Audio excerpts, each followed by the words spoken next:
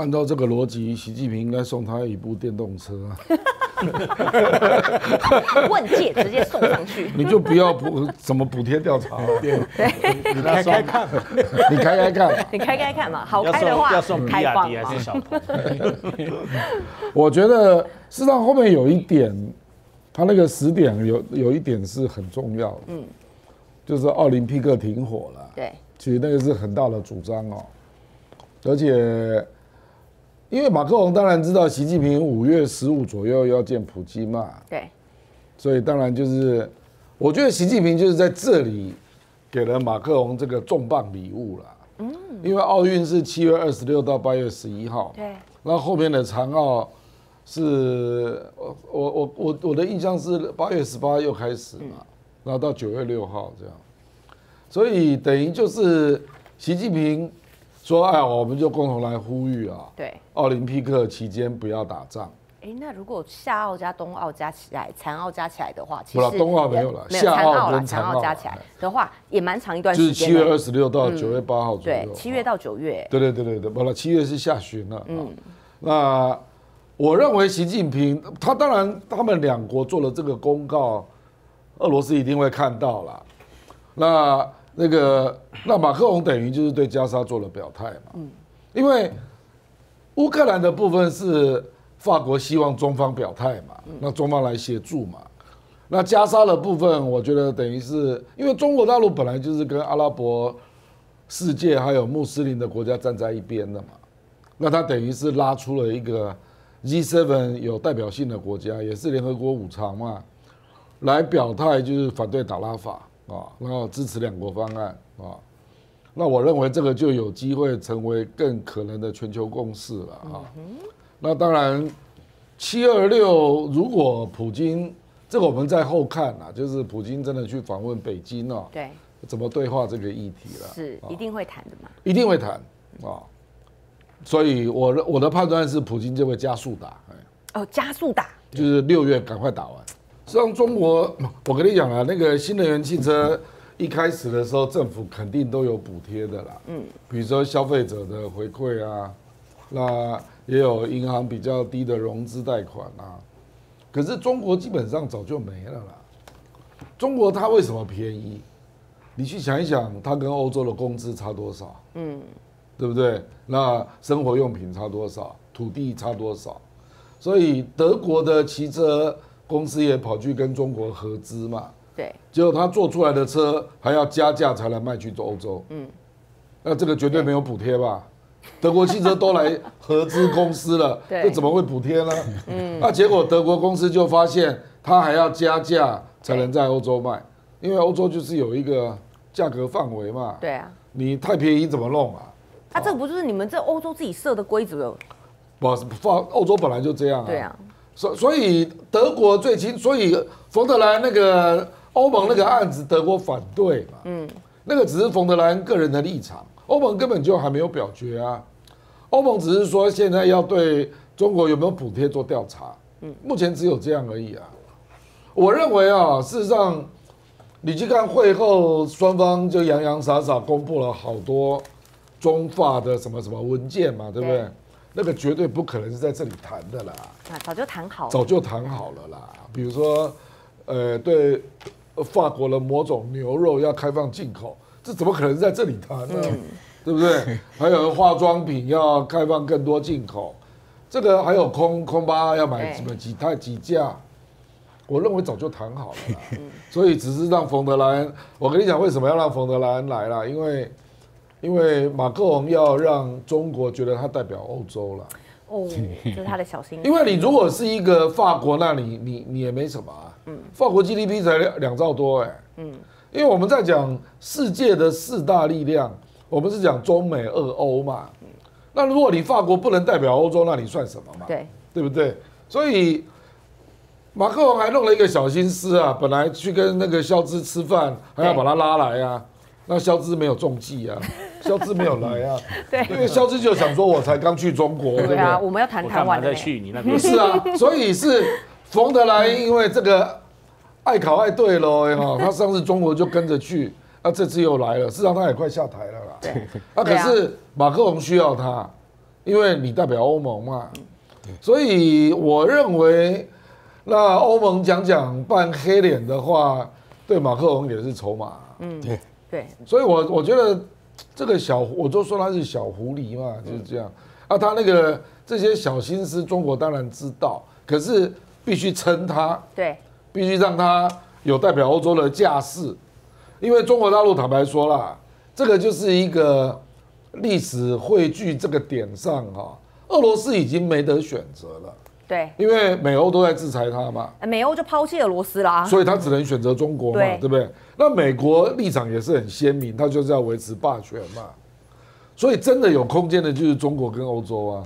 嗯哼，所以中国就是希望欧洲你不要一面倒向美国嘛，那政治上你不要搞新冷战嘛，啊，经济上你不要搞国际保护主义嘛，不要搞贸易战、科技战那种啊。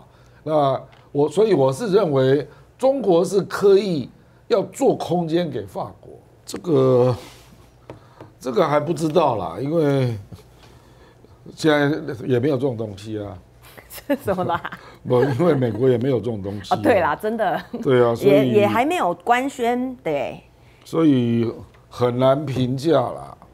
这个这个无人机航母，那这个航母以前应该是要放那个直升机，作战直升机，因为它已经比较小嘛。事实上，中国大陆本身就有两栖突击舰，它本身就是小航母嘛。嗯，对啊，所以我真的不知道这个无人机航母是要发挥什么作用，嗯因为零七六照理讲应该就是应该就是两栖突击舰吧。它是两栖舰，但是它拿来做无人机有它用途的。嗯等一会儿讲，它可能会有无人机啦，然后也会有其他的直升机，也可以带战斗机，也可以，也在也上得去，也上得去。它不可能到五十兆了，现在三十四兆就已经快撑不下去了。三十四兆，他说一个月利息就支付了八百九十亿，那一年是多少？一年就超过一兆了嘛。嗯，你让它乘以十二，对不对？那美国的国家的国家政府的税入一年大概只有五兆，哎，嗯，那你一兆就拿去付利息了。那拜登还给人家乱乱编预算，他明年给人家编到七点三兆，对，那你去想一想，你负债多少？你实际收入只有五兆，付利息就一兆，所以你只剩下四兆，然后你的税出给人家编到七点三兆，你等于有三点三兆是债，耶，超支的预算、啊，怎么可能这样运作啊？所以为什么叶伦要又要卖一千两百五十亿的美对债嘛？没钱的嘛，问题是你那个长长年期的你卖不动嘛？嗯，你那个长年期的，你看那个有两百二十亿是三十年对啊，然后还有四四百百五十亿是十年年，，那这两？个这两个加起来就六百七了、对，敢买吗？没有人会买啦。我跟你讲，以前短天期的还有两年呢、欸，嗯。那现在给人家只卖三年的，对最少三年，就是越卖越长嘛，嗯，因为长它比较好调度嘛。那可是很多人都问他有没有一年的，有没有两年的，哦，这个事实上会这样问的人，就是对你的长期不看好嘛。对，你去想一想，你现在美元指数已经到一百零六了，你还能涨多少啊？那你要涨，那你你就意含着资金还要往你这边跑嘛，对不对？可是大家也认为你升息也升不上去了，你大概要降息了吧？对，但是还没要降嘛，所以现在资金大就是卡住嘛因对，为有通膨压力嘛，又有点卡住啊。可是没有人预期它会升息吧？嗯，所以所以基本上有一些钱一定会跑走了，对，因为有些钱是暂时放你这里赚利差的嘛。那当你开始降的时候，人家就开始调度了，就就就一定是这样啊。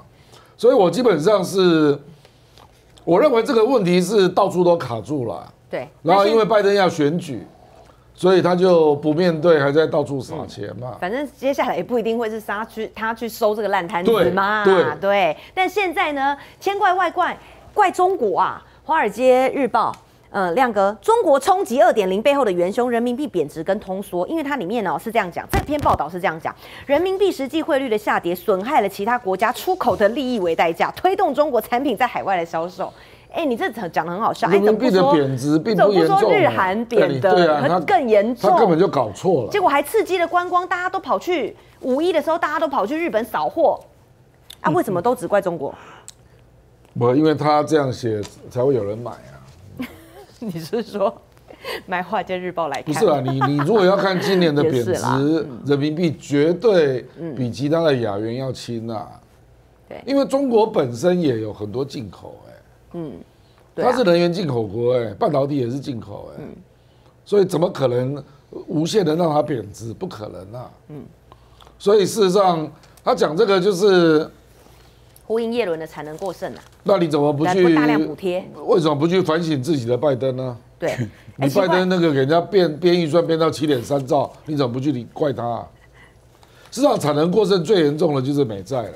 今年到五月七号，人民币贬一点三九，嗯哼，日币贬八点七，哦，韩元贬六点零五，台币贬四点六五，哦，台币还贬那么多？啊对。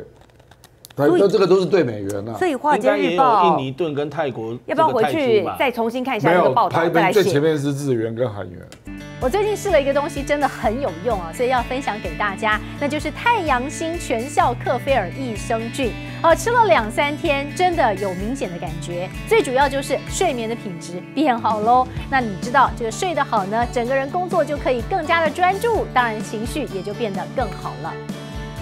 因为太阳星全效克菲尔益生菌，我才认识了这个克菲尔益生菌。它是由多支菌种益生菌所组合而成的，不但是能够维护消化道机能的正常运作，而且呢还有多种有益健康的保健功能，非常的强大。有台大教授专门研究它，把它叫做神仙的礼物。而您知道吗？有上千篇国际研究证实，克菲尔益生菌不仅是帮助肠道健康，肠道菌透过肠脑轴影响全身的器官，所以维持肠道菌种的平衡，这是解锁身体健康、精神健康的钥匙。对于帮助睡眠、维持好情绪，真的是很有感。也因为这不是药。有季节敏感、代谢困扰、关心恶性细胞风险的好朋友们，选择太阳星全效克菲尔益生菌，做好日常的保养，身体轻轻松松，没有负担。每日克菲尔，时刻美好，Good feel feel good，请上快点购为健康下单，也记得输入推荐码，有额外的折扣哦。